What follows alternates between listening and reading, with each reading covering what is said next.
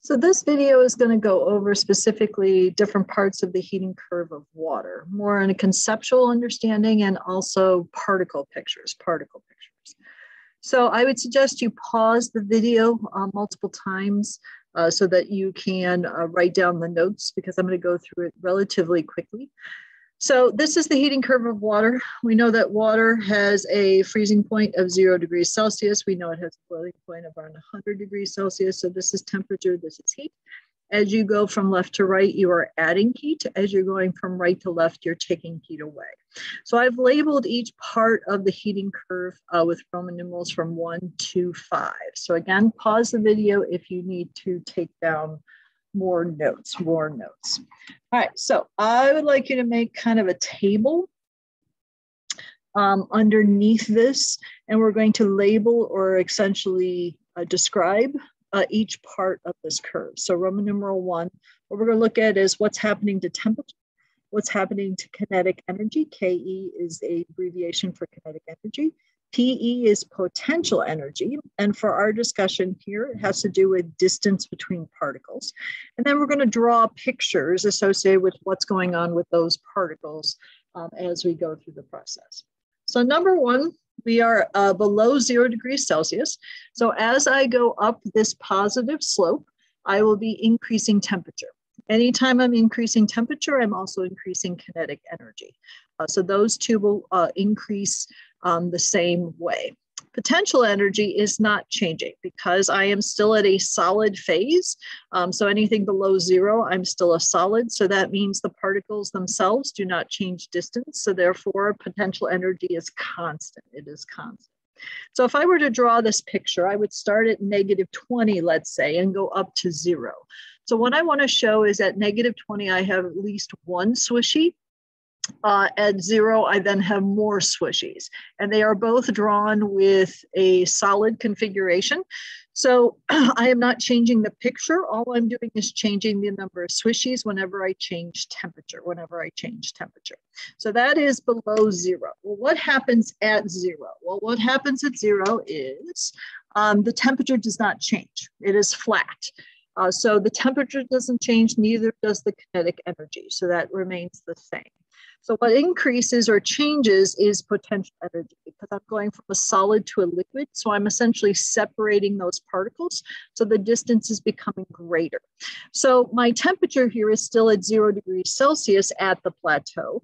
My swishies do not change. I still have two here, two here, following what I did in the previous picture, but my picture changes. So whenever I'm at a constant temperature, my picture is changing. So I'm changing it from a solid, it's changing to a liquid, and now it becomes all liquid at zero degrees Celsius. So again, these, this is kind of showing you a progression of what is taking place along that um, plateau.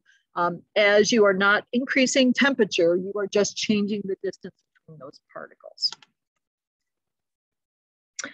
Three, again, you have an upward slope. Okay, so an upward slope would mean you have an increase in temperature increase in kinetic energy.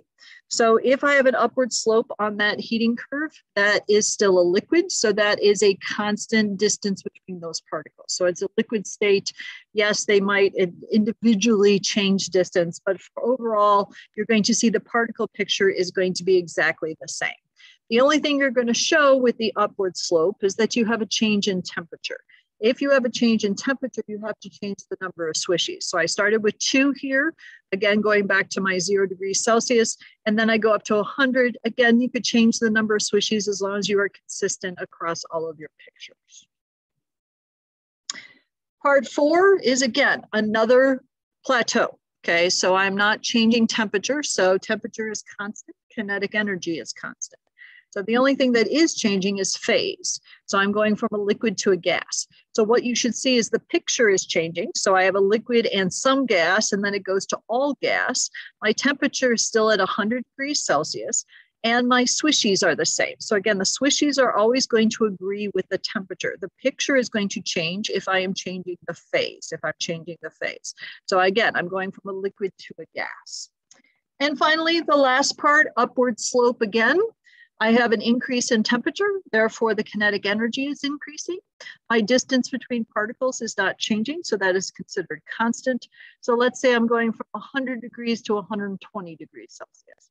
So I would have to change the number of swishies. So again, I started with three swishies here for 100 degrees Celsius.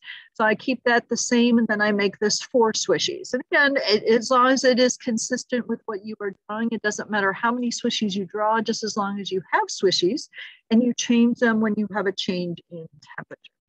So overall, again, at the plateaus, you are not changing uh, the kinetic energy, you're changing potential energy. So those distance between particles is changing, so your particle picture should change. When you have an upward slope, the temperature is changing, but your picture is staying the same. But the number of swishies goes from one to two to three or whatever it happens to be. So that is how you essentially look at a heating curve according to particle pictures.